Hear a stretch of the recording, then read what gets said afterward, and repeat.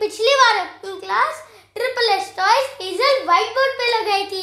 इस बार मैं आपके लिए लाया हूँ एक नया white board triple S toys alpha numero magnetic board अगर ट्रिपल एस टॉयज है तो फिर कुछ अमेजिंग ही होएगा।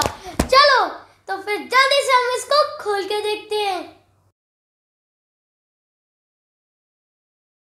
ये है alpha numero two in one board आपको पता है, ये मैग्नेट्स के थ्रू इस बोर्ड पे स्टिक कर रहा है। इसकी चौको डस्टर वाली साइड और इतना अच्छा टू इन वन बोर्ड इतने कम प्राइस पे। और आप अगर इस बोर्ड को लेना चाहते हैं तो फिर आपको इसका लिंक डिस्क्रिप्शन बॉक्स में